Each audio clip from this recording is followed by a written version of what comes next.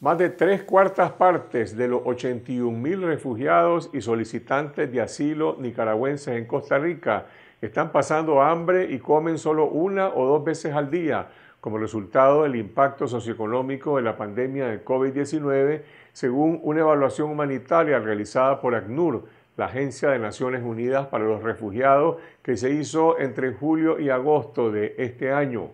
Nuestra colega Cindy Regidor conversó con Tanya Amador, directora de la organización humanitaria Corner of Love, que brinda asistencia a los refugiados nicas en la Cruz de Guanacaste y en la capital San José.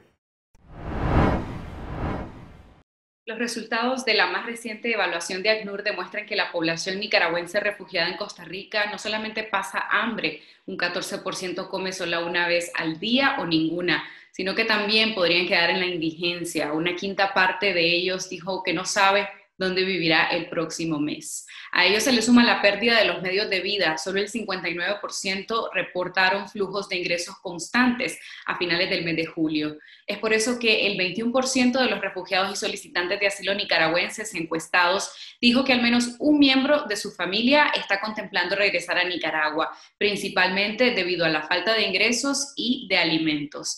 Esto a pesar de los riesgos por los que han huido de su país. Corner of Love es una organización benéfica que trasladó sus operaciones en 2018 de Matagalpa, en Nicaragua, a Costa Rica, en donde han atendido a centenares de familias nicaragüenses. Gracias, Tania, por esta entrevista. ¿A quiénes atienden en sus centros de ayuda y qué conocen de la situación en la que se encuentran actualmente estas personas?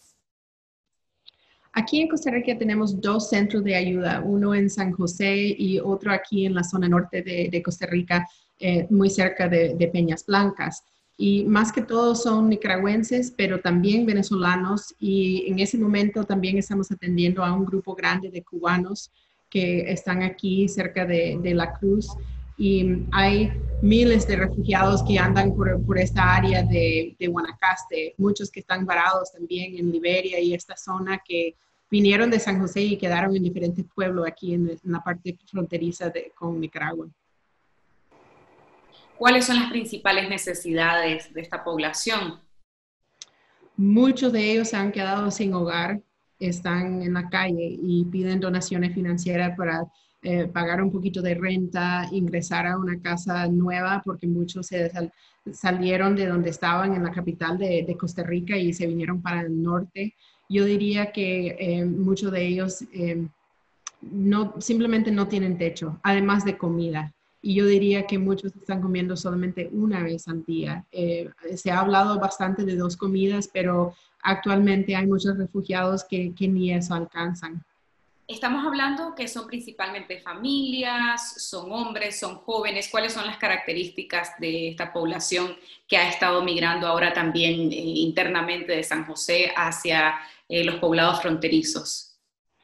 Pues hay de todo, eh, pero yo diría que el año pasado y 2018 también se miraban más eh, hombres solos, pero ahora en estos días realmente he estado observando muchísimas familias, madre, papá y, con sus hijos, y, realmente ellos se salieron de donde estaban, quizás pagaban semanalmente su cuartito en San José o otra parte de, de Costa Rica, se salieron y, ahora andan como núcleo completo, eh, buscando cómo regresar a Nicaragua o buscando cómo quedarse en otro pueblito porque dejaron su cuartito o su apartamentito en San José.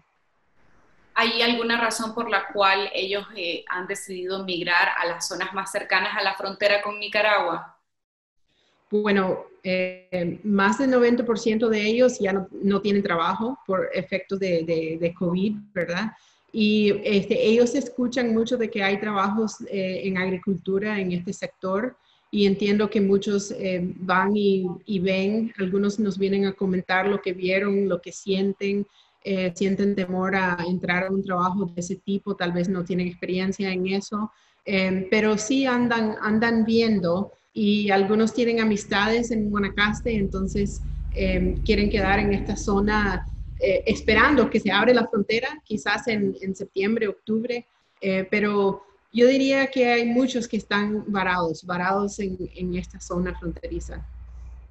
Mucho se habla en Costa Rica sobre el porcentaje significativo de extranjeros contagiados con COVID-19. Más o menos el 30% de los contagios se presentan en extranjeros, la mayoría nicaragüenses. Eh, eso crea eh, un ambiente de xenofobia en algunos casos.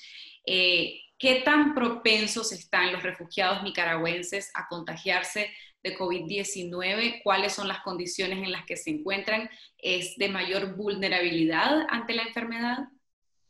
Sí, muchos refugiados viven en una casa o vivían, ¿verdad? En San José, eh, donde ponen hasta 12, 13, 15 colchones en el piso y, duermen muchísimo dentro de una sola casa. Entonces sí son súper vulnerables, mucho más que, que eh, costarricenses nacionales en este país pero sin embargo también se cuidan bastante. Yo he hablado con, con cientos de refugiados que tienen literalmente meses de no salir eh, de, su lugar, eh, tratando de evitar a todo costo, realmente tomando todas las medidas que ellos pueden.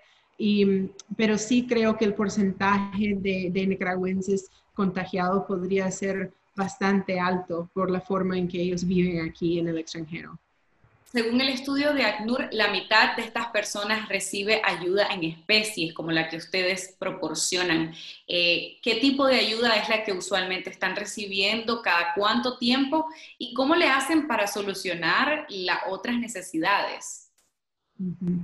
Sí, eh, nuestra misión, por ejemplo, anteriormente también brindábamos atención médica, eh, medicina general, ¿verdad? Pero ahora hemos girado nuestros servicios hacia la entrega de diarios, que es una bolsa de arroz, frijoles, azúcar, aceite, algunas otras cosas eh, de necesidades básicas como papel higiénico, etcétera. Em, ellos necesitan eso mucho porque realmente no tienen ni un colón para comprar comida y eh, en veces salen a las calles a, buscar eh, cómo vender chicle y otras cosas y es tan lamentable, ¿verdad? Pero em, Muchos piden simplemente zapatos o ropa o otras necesidades, pero yo diría que más que todo eh, necesitan donaciones pequeñas de, efectivo para lograr pagar sus cuartitos. Eh, Corner of Love, por ejemplo, ha entregado eh, casi llegando a mil donaciones de pequeña suma de dinero para que ellos puedan resolver sus gastos en diferentes ciudades, que resulta sumamente difícil para estos núcleos nicaragüenses vulnerables que, que se han quedado más del 90% sin empleo y no, simplemente no tienen para, para pagar su renta. Ustedes fueron de las organizaciones que a finales de julio atendieron a los más de 500 nicaragüenses que se hallaban eh, varados en la frontera entre Costa Rica y Nicaragua. Varios de ellos eran refugiados. Eh, ellos estaban impedidos de ingresar al país porque no portaban una prueba de COVID negativa y el gobierno tampoco eh, se las ofrecía ni a cambio de un pago ni tampoco de manera gratuita. ¿Usted eh, cree que este tipo de situaciones se podría volver a repetir? ¿Hay intenciones de los refugiados nicas de regresar al país y de presionar para que puedan entrar eh, sin esta condición que no pueden cumplir porque simplemente no pueden costear esta prueba. Sí, absolutamente, Cindy. Eh, de hecho, nosotros tenemos una lista de individuos que nos escriben y piden ayuda SOS, eh, por favor, eh, por el examen, que no tienen dinero para, para el examen. Y, y, yo temo mucho de que esa situación podría repetirse. Lo que vivimos, lo que experimentamos junto con esos refugiados ahí en la línea fronteriza, fue realmente la, cara de un sistema eh, que, que, quiere reprimir a todo costo, que, que, quiere este, denegar servicios a sus propios ciudadanos y no pudimos creer, no pudimos creer todo lo que ellos tuvieron que, aguantar allí. Hay muchos que están listos a tomar riesgo ah, y se podría volver a repetir esa situación. ¿Cuál creen que sería la situación para estos refugiados que desean regresar a Nicaragua? Espero que eso no, no pase nunca, espero que la gente se preparen. Eh, es bueno que se comuniquen con organizaciones así como Corner of Love y también hay, hay otros porque nosotros le damos información sobre realmente cómo podrían hacer, eh, hacer su test en, en, San José o comunicarse con diferentes ONG que sí pueden brindar ese, esa asistencia. eh, porque tuviera un mal fin y no quiero ni, ni pensar en eso de que se agrupen otra vez em, aquí en, en, Peñas Blancas porque era una, una experiencia eh, sumamente negativa para, para lo que vivieron eso. Que no me arranque. Hola amigos, soy Mario Ruiz de Garcín y los invito a suscribirse al canal de YouTube de Confidencial para recibir contenido de esta noche y de esta semana. Ahora más que nunca apoyemos a los medios independientes. Muchas gracias.